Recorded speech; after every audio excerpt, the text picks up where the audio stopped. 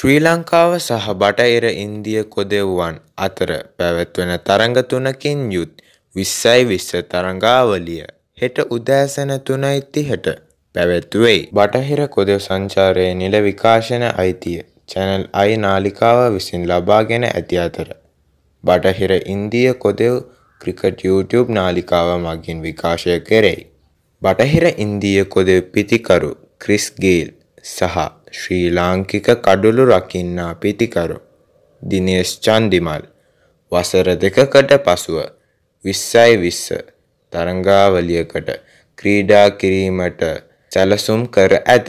ශ්‍රී Lanka cricket කණ්ඩායමේ ප්‍රධාන පුහුණුකරු Mickey Arthur පැවසුවේ මා මෙහි පැමිණෙන විට මම පැතුම් නිස්සංක ක්‍රිකට් ක්‍රීඩා කිරීම දැක්කේ නැහැ.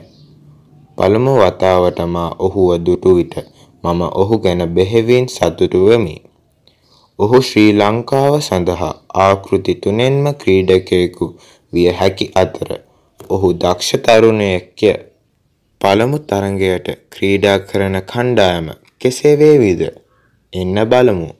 කූලිච් ක්‍රිකට් ක්‍රීඩාංගණයේ දඟපන්දු යවන්නන්ට ඉතා සුදුසු වන අතර කණ්ඩායමේ අවම වශයෙන් දඟපන්දු යවන්නන් දෙදෙනෙකු සිටිය හැකිවේවි.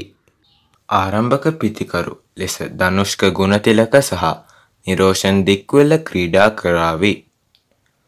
තුන්වන ස්ථානය පැතුම් නිස්සංක ක්‍රීඩා කරාවි. හතරවන ස්ථානය කඩුළු රකින පිතිකරුවෙක් වන දිනේශ් චන්දිමල් ක්‍රීඩා කරාවි.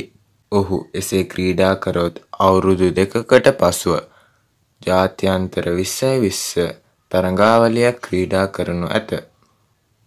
පස්වන ස්ථානයේ ශ්‍රී ලංකා විස්සයි විශ්ස කණ්ඩායමේ නායකය ඇන්ජලෝ මැටියස් ක්‍රීඩා කරාවි.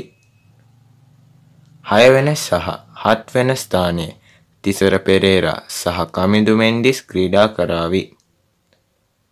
අටවැනි ස්ථානයේ දක්ෂතුන් ඉරියව් ක්‍රීඩකයා වන වනිදු හසරංග ක්‍රීඩා කරාවි. නමවන සහ දහවැනි ස්ථානයේ වේගපන්දු යවන්නන් වන නුවන් ප්‍රදීප් සහ දුෂ්මන්ත චමීර ක්‍රීඩා කරાવી. කූලිච් ක්‍රිකට් ක්‍රීඩා පිටියේ දඟපන්දු යවන්නන්ට ඉතා සුදුසු නිසා එකොළොස් වෙනි ස්ථානයේ අකිල ධනංජය ක්‍රීඩා කරાવી.